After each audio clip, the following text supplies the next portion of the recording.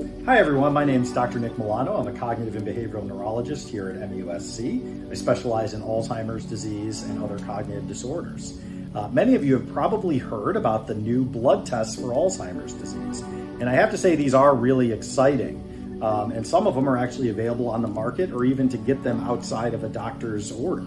Um, that being said, I do think they're a little early and I wouldn't recommend using them just yet.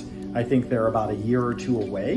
And while they, they will be used uh, in our clinical care in the future, uh, at the moment, I don't think that we fully understand what the results mean. Uh, so I would hold off on getting them if you're given the option just yet. Um, but if you have had them, uh, that's okay. But I would recommend having a, a, cognitive neurologist or other specialist review the, review the results with you, uh, as they may be more difficult to interpret.